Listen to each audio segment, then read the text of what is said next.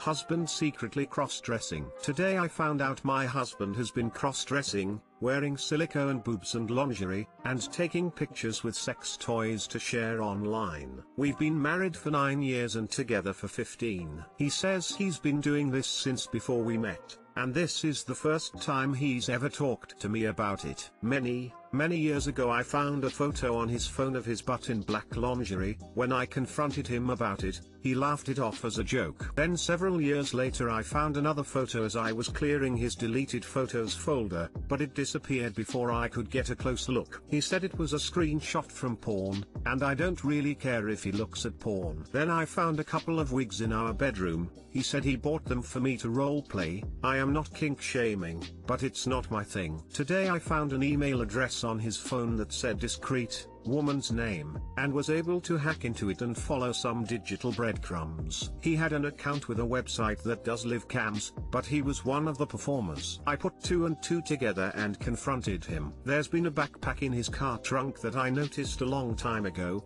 but he hides presents and surprises for me in his trunk so I thought that's what it was. An Amazon account in his female named email address showed that exact backpack, so I opened it up and found lingerie, women's clothing, silicone boobs, a dildo, and condoms. He told me he's been posing for photos on these websites, but that no one sees his face. He says he makes a couple hundred dollars a month doing this, but here's the thing. He makes really good money, like almost $200,000 a year. So it's obviously not about the money, it's about gratification. And why would he need condoms for these photos or webcams? I feel like I am not getting the full story, especially because he's been keeping this from me for almost 15 years. He's a wonderful man, kind, caring, and an amazing father to our little kids. I can't just break up with him or divorce him. We have a family. Also, I am very open-minded and pro-LGBTQ+, and am not the kind of person who would be morally offended by a man cross-dressing. So why couldn't he be honest with me? How do you deal with it when you find out your partner has been keeping such a big secret for so long? What the hell do I do? Exclamation mark.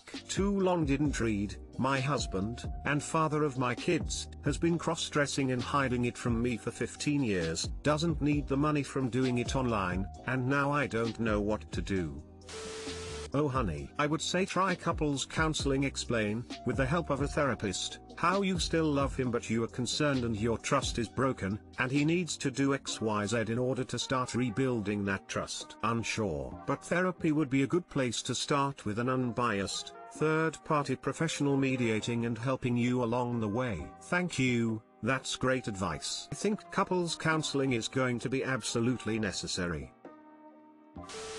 Let me get this right, backslash condoms and everything else stored in a backpack in the trunk of his car. Backslash claims he buried all his accounts when you asked to see. Backslash email address referencing him being discreet. Backslash lied to you several times when you found evidence. Backslash earns a couple hundred dollars a month from this, despite having a dollar 200k slash year job which actually could be in jeopardy if someone at work connected the dots and thought it reflected poorly on the company. Backslash says he just poses with the toys, negating the condoms after easy cleanup argument. I mean, Come the fuck on. Does his work from home job that pays 200k slash year require him to intermittently take calls outside, after which he offers to go get groceries since he has to stop by the bank? Does he frequently shower after running errands? Does his bank statement actually have deposits from this job, or do they pay him in cash? He's lied too much and seemingly telling you just enough plausible excuses each time he's caught. Pry deeper and get tested.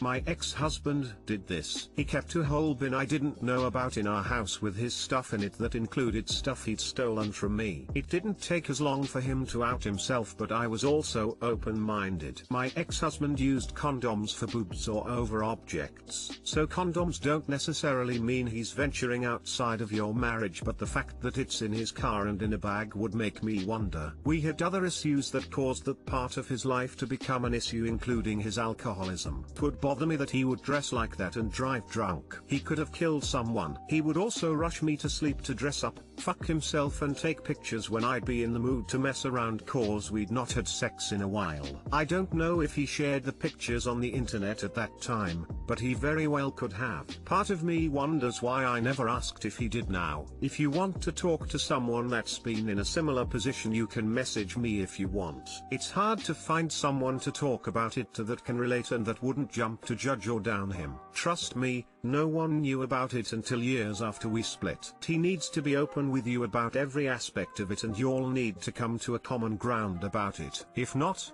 this can be the beginning of the end. Especially if this is very important for his sexual gratification and there's aspects that you don't know about and wouldn't be happy with. I wish you luck. We went on many years after I discovered this part of him so it can work out. This also had no part of our dissolution. There's nothing wrong with the things he's doing, but there's absolutely something wrong with hiding it from you. I've always been of the opinion that the definition of cheating is any promiscuous activity that one actively hides from their partner. The fact that he lied to you, hid it from you, and committed himself to you while doing these things is awful. It's great that you say that he's a wonderful man and a great father, and I'm sure he is, so I have one question. Does he seem legitimately guilty or remorseful at this obvious breach of your trust? Thank you for your very thoughtful reply. I agree that there is nothing wrong with cross-dressing or webcam, photo websites, but that lying to me for 15 years is a huge betrayal. He does seem legitimately remorseful that he lied to me. He is not remorseful at all about doing it, but he has been very apologetic about keeping it from me. I'm not sure if he's only sorry that he got caught though, he could have come clean in the past and chose not to.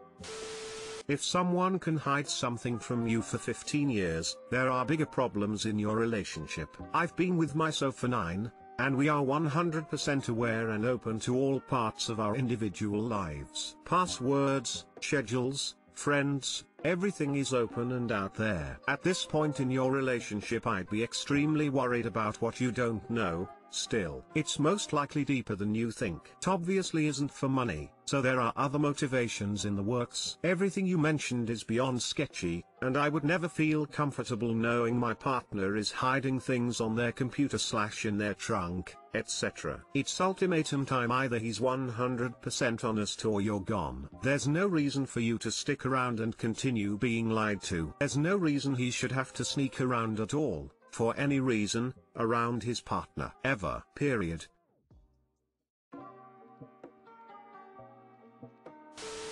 I found out that my girlfriend has been ruining my life.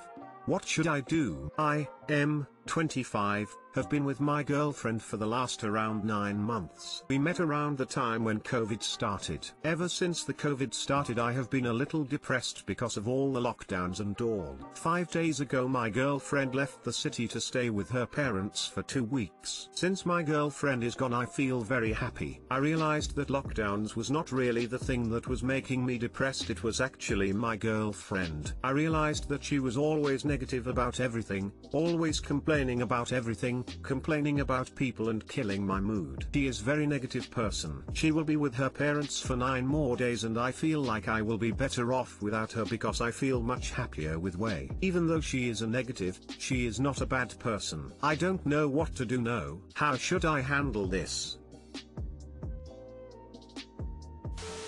It doesn't matter if she's a good person. She's negatively affecting your mental health. You need to do what's right for you. During this break I've been thinking about things and I don't feel like we are a good fit. I think you're a good human but just not the right fit for me. I wish you well. There, done. Dating is learning the other person and testing the waters. Not all relationships are going to last forever. But it's better to end things when you realize it's not a good fit than let it drag on. Maybe say person instead of human. You're a good human makes it sound like you're breaking up with her because you're secretly three aliens in a trench coat. Op, I also thought I was super depressed while I was dating my girlfriend. Even mentioned and talked about it with her, which landed me in therapy. Turns out, it was her negative influence that made me feel that way. Once I realized that, I broke up with her. I've been alone for a few months now and I am so much happier. Please dump her. You will never regret it and be so happy. I'm rooting for you. Still have to break up with her, imagine that for the rest of your life. I have a thorn in my leg and it is causing me pain. What should I do? Push it in deeper. My boss, 48M, traumatized me, 22F, and I can't stop thinking about it. So I have worked as babysitter for 5 years for a family with a few children. The parents recently got divorced. The father has always been kind to me, and I've worked many overnights for them with no issues other than the usual craziness that comes with caring for children. I trusted the father like he was my own and he's always overpaid me. I worked an overnight recently where he told me he was staying at a hotel with his new girlfriend and would be drinking so he wouldn't be driving home until around 10 am the next morning. That night went smoothly, and I put the kids to sleep, and I myself went to sleep at 1am after finishing chores. I woke up at 4am to the father spam calling my phone. I answered, and he told me to open the door. I was dazed and confused, but I went downstairs and opened the door. There he was, standing in just his underwear and a shirt. I was in shock. He took me by my hand and led me through the house, obviously drunk. I realized then he was wasted and drove home like that as well, making me scared as hell. He led me to his bedroom, the whole time I'm begging him to tell me what's going on, if he's okay, etc. He shuts his bedroom door and locks it twice, the one on the knob and the inside latch as well. He then tried to force me into his bed while I pulled away and started having a panic attack. He kept telling me to just lay there with him. I have social anxiety and I'm extremely shy and unassertive so I was going into shock I think. I pulled away and sprinted to the door and managed to unlock both locks in the dark. I sprinted to the kitchen. I didn't know what was happening still and he followed me. The whole time I'm telling him that I was going to leave, and he needed to sober up. He then drank water out of the cup and made me drink after him. He handed it to me and kept telling me to drink and I was so scared and confused so I did. He again tried to pull me on the couch with him while I was shaking and begging for him to go to bed and leave me alone. He then told me something I didn't need to know about what he thought about me and that was enough. I ran to the guest room and locked myself in it until I heard him go to bed and then I left. Spent that time terrified that he would come to my room. I told my parents as soon as I made it home and they've told me they will respect whatever decision I make as to what to do. Nothing like like this has ever happened to me before and since this happened, I feel like I want to vomit every time my BF is intimate with me in any way because of what happened with my boss. I haven't gone to the police or even contacted my boss again and I don't know what to do. Because I wasn't raped, I don't know what to do or what these feelings are. Edit, I forgot to add that I spoke with my dad about it and he excused his behavior, saying that it was because he was drunk. He downplayed what happened to me and now I feel like my feelings are in invalid. Too long didn't read, my boss terrorized me while drunk and I don't know what I should do next. You need to decide what to do you can. 1. Report him to the police because he tried to sexually assault you and stop hopefully stop him from doing this again. 2. You can forget about it and quit your job and hope to never see him again. 3. Go back and act like nothing happened, don't do this. No matter what you need to leave that job. I quit as soon as I left, without telling him. I'm planning on ghosting him the next time he asks me to work. I've already started applying elsewhere. Fuck your dad and what he says. Your feelings are valid. Don't let anyone tell you otherwise. You need to go to the police with this and yes do have evidence. This disgusting piece of shit assaulted you. And shame on your father for pretty much saying be boys we LLB boys.